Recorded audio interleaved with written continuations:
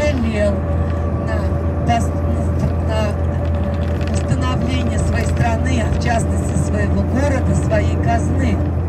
То есть он что-то брал и тратил из своей казны средства на восстановление э, и страны, и города. Помимо Османской империи, которая ждала свое время, то есть э, опождал, когда надо было покончить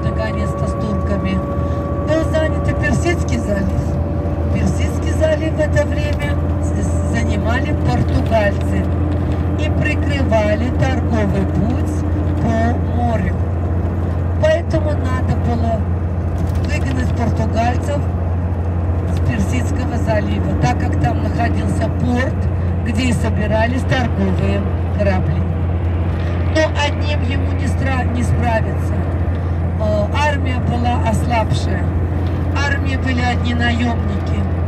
Сначала Аббас Великий решил восстановить именно армию. То есть армия теперь должна состоять из местного населения. То есть это его первый шаг, который решил, чтобы не было предателей, чтобы не, не надо было нуждаться снова в армии, наемниках, надо было работать над своей местной армией.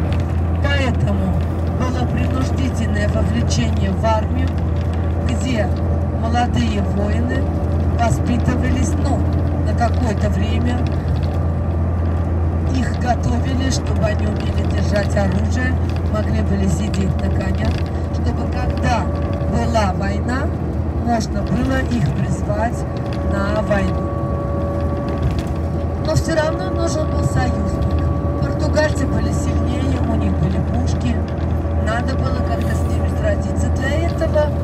нашел в своих союзниках Англию, предложив им после того, как они выгонят португальцев, предложить им небольшую там часть, э, освобожденная от налогов в порту на Персидском заливе.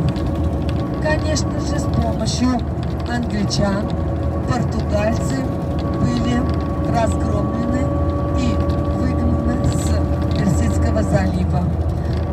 Аббас Великий построил площадь, то 13 пушек он поставил на эту площадь, чтобы